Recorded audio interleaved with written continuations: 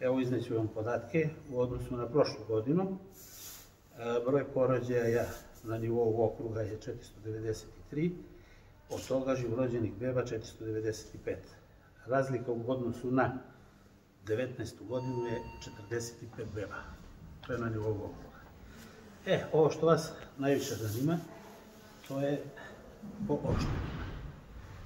Opština Pirot, 388 beba, Тоа е 11 више него прошле години. Али, на жалост, све остале е, обштине, нарочито обштина Бабошница, тоа е катастрофално, од 53 на 29, тоа е 24, упола мање, Бела Паланка од 54 на 42, 12 мање, и Димитровград од 57 на 36, 21 баба мање. Тоа е стварно забринјавајќе. Tako da, situacija se drži negde u nekim standardima koje imamo do sad, ali ima tendenciju blagog pada na nivou okruga.